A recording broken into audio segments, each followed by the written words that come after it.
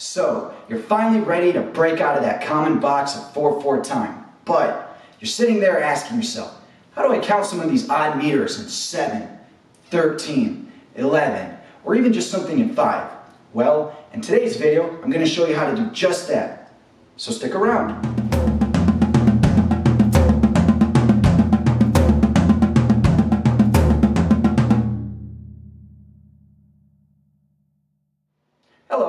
Donnie Bell, and welcome to Math Drumming. Every week we upload new videos on irrational rhythms, polyrhythms, grids, fractional time signatures, and today's video, odd meters. So if you're new here, please consider subscribing. Today's video comes from Sam Strain who asks, how do you count in odd meters? Odd meters, odd as in strange ones, are oftentimes referred to as complex or irregular meters, since they contain a combination of both simple and compound beats.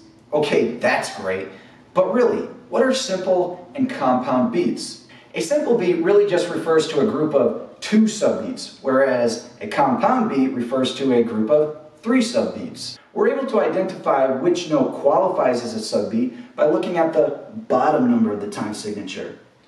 We then are able to determine how many subbeats we'll have in each measure by looking at the top number of the time signature. For example, in 5-8 time, we're able to see that 8 in the bottom number indicates that the 8th note will represent the subbeat, while 5 in the top number represents the total number being implemented. Although 5 is the total number of subbeats, we wouldn't count as 1, 2, 3, 4, 5.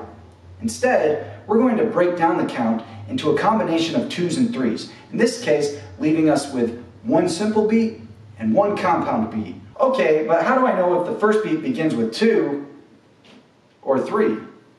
Take a look at how the eighth notes are grouped in both the top and bottom examples of 5-8 time. The rhythm on the top, beginning with two eighth notes beamed together, should be a dead giveaway that the first group is a simple beat. I would count this as 1, 2, 1, 2, 3. The bottom rhythm, however, beginning with three eighth notes beamed together, indicates that its first group is a compound beat. Count this as 1, 2, 3, 1, 2. Try to figure out the count in this first excerpt by looking at how the eighth notes are grouped together.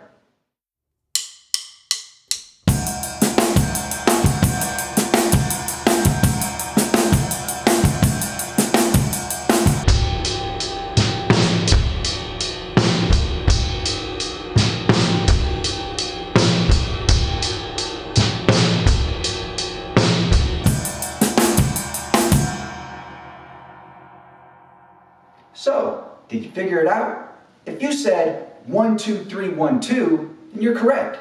Remember, we know that the count is 1, 2, 3, 1, 2 because the beginning three eighth notes are beamed together, indicating that the first group is a compound beat.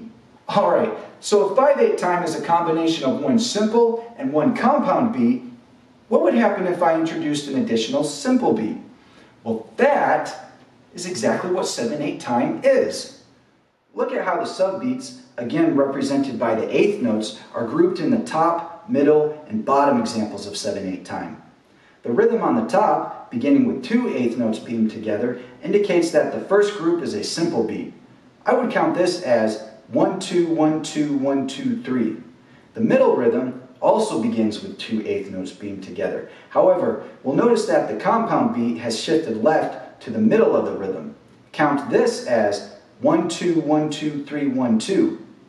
The bottom rhythm, again, begins with three eighth notes beamed together, indicating that its first group is a compound beat. Count this as 1, 2, 3, 1, 2, 1, 2. Try to figure out which of these three counts are being used in this excerpt.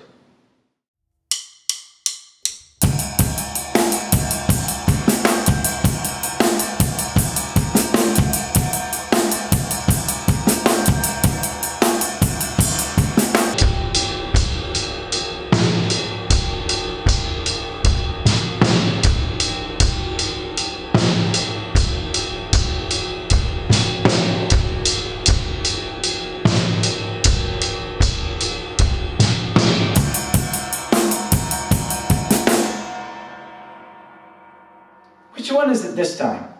If you said 1, 2, 1, 2, 3, 1, 2, then you're correct.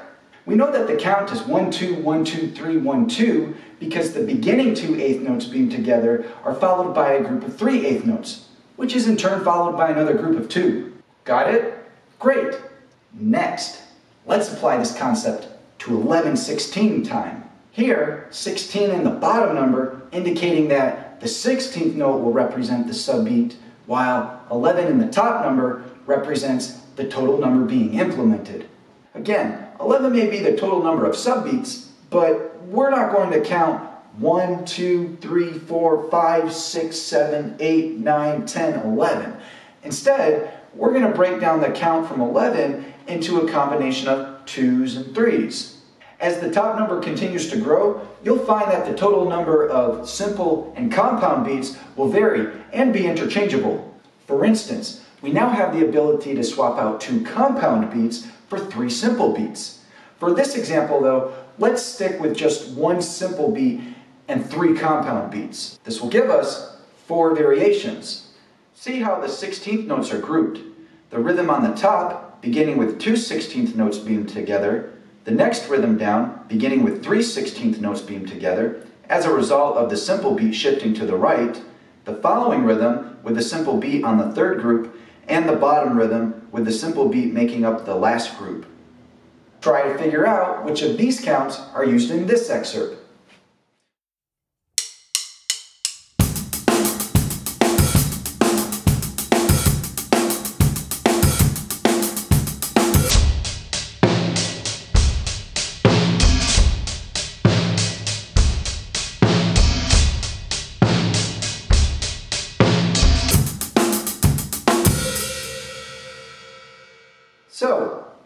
One is it? I'll admit, this was a bit more difficult, but if you were paying attention to how the 16th notes on the hi-hat were grouped on top, you'd have figured out that the correct count would be 1, 2, 3, 1, 2, 3, 1, 2, 3, 1, 2. Although awkward at first, this concept of breaking down odd meter counts into various combinations of twos and threes will eventually open up a bit more creative freedom for any drummer seeking to march to the beat of their own drum.